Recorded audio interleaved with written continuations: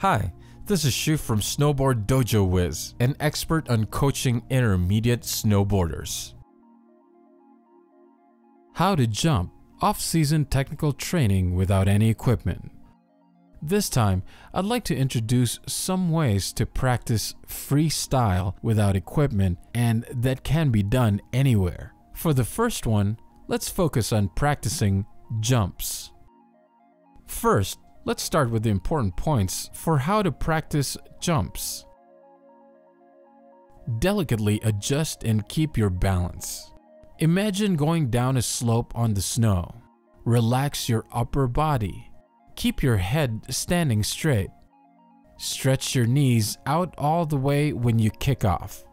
Keep these points in mind and your performance on the snow will show results. Alright then, let's get started. 1. Vertical jump. This may be a simple vertical jump, but try to confirm your center of balance. Keep your head and torso facing forward. Jump up with both feet and land with both feet. Next, try facing your head in the direction you'd be going and confirm your center of balance again while you land. 2. Jumping in the direction you're moving. Keep yourself focused on your center of balance and jump with both legs in the direction you're moving. Just like if you're snowboarding, face the nose side of the board. Imagine trying to jump over something. 3. Horizontal jump. Face the way you're moving and try jumping to your toe side and heel side. Imagine a box around your chest and back and try jumping on it. Jump off with both feet, but make sure to focus on your balance when you land. 4. 90 degree spin. Just like hitting the side of the wall or half pipe, you need to add 90 degree spin in midair to land properly. You'll be spinning, but when you land, make sure your head is facing the nose. 5. Jumping over an object. Try using a short or low to the ground object. Jump over it with both legs and land with both legs.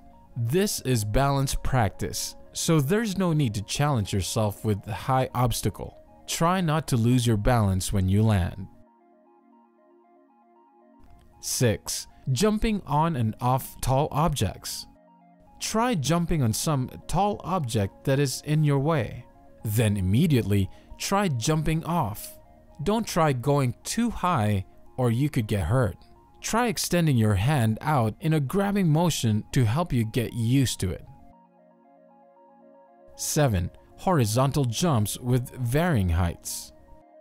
Try jumping up sideways up on some stairs. Then try jumping down. Jumping onto elevated surfaces while free riding and onto jibbing items in the park essentially have the same motion as horizontal jump where you have to jump to different heights. So by practicing all of these while you are not on the snow will help you improve your balance in horizontal jumps when you're on the snow.